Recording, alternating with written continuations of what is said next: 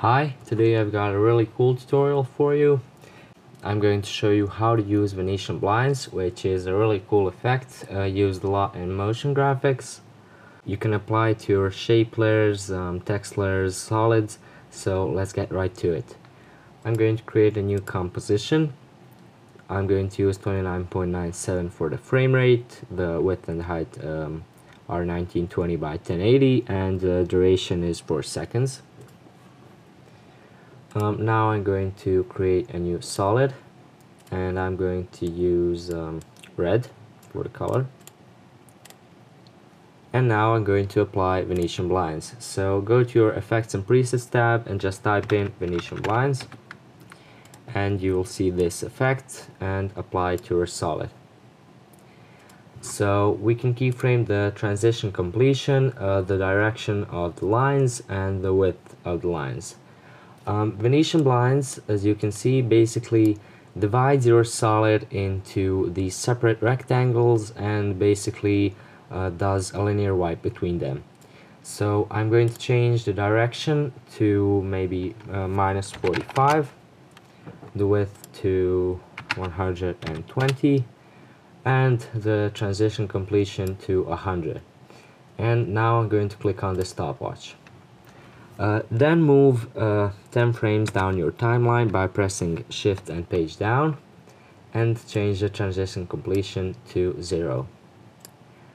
Now go to effects, Venetian blinds and select these two keyframes and just press F9 which will make things look a bit better. And now we have this animation. Okay so now what you can do is you can duplicate your uh, solid press um, Control Shift Y and then uh, make it a bit darker. Then move the second solid underneath the first one. And now you need to move this layer back a few frames maybe three frames and that looks pretty good. We have the darker uh, red solid appearing underneath the lighter red solid. So this looks pretty cool and if you want this to reveal a text layer then you can basically um, type in your text and I'm just going to make this bigger I'm going to align it to the center of the composition. And then I'm going to duplicate this red solid. So what I'm going to do is I'm going to put it up there. Click on toggle switches modes until you see uh, these options.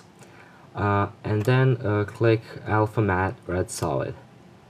So this will basically uh, reveal your text with this red solid and it will automatically turn off the visibility of the red solid so that you can see your text. Now I'm going to show you something else. Um, I'm going to delete all of these layers and move this back to the beginning and I'm going to duplicate these Venetian blinds. I'm going to change uh, the direction on the second uh, Venetian blinds to plus 45 and then I'm going to alt click on um, this stopwatch and I'm going to just uh, click on this and drag it uh, all the way up there so now basically uh, what that did is uh, whenever I change um, this uh, this value will change automatically. By doing that, you only need to keyframe the first effect and the second one will do everything automatically. So these two now create the rectangles because the angles on this effect and this effect are opposite.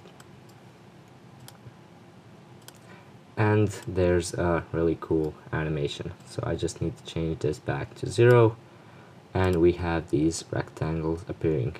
Like I said, this effect is used a lot in motion graphics and it is going to make your videos look better as long as you don't overuse it. I hope you liked this tutorial. If you want to help me out then subscribe. If you have any questions, then uh, leave a comment and thank you for watching.